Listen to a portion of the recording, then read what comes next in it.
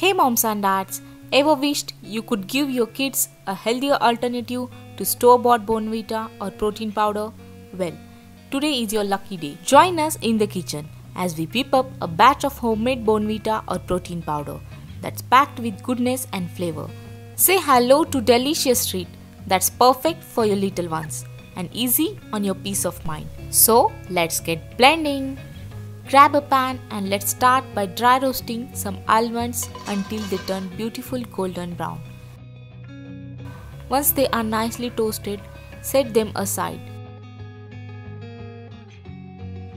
and add in a mix of cashews, walnuts and makhanas. Keep the flame low and be gentle with the roasting. For the makhanas, Roast them until they break easily, giving you that satisfying crunch. Once done, transfer the nuts and makhanas to a plate and let them cool down completely. In a grinder or food processor, blend everything into a smooth powder. Imagine the aroma filling your kitchen. Now it's time to enhance our protein powder. Add the unsweetened cocoa powder for that rich chocolatey flavor. If you prefer a touch of sweetness, go ahead and include some jaggery. Remember, it's all about your taste preference. Mix everything well until you have a uniform powder.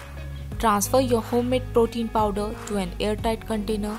Store it in a cool and dry place. The shelf life of this homemade protein powder is approximately 3 to 4 months if stored properly. But let's be honest, it's so delicious that it won't last that long. Use this protein powder in your milkshakes, smoothies, or even sprinkle it over your morning cereal.